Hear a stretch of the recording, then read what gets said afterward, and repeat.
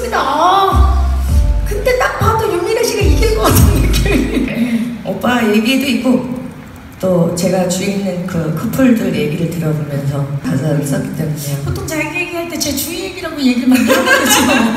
아니, 아니 오빠 착해요. 제주 온 국민이 다 아는데 라비야 최근 노래를 가사를 딱 보고 바로 헤어지더라고요. 거의 바로 5년 이상 된 분들한테 노래방 가면 무조건 부를 곡이 아닌가라는.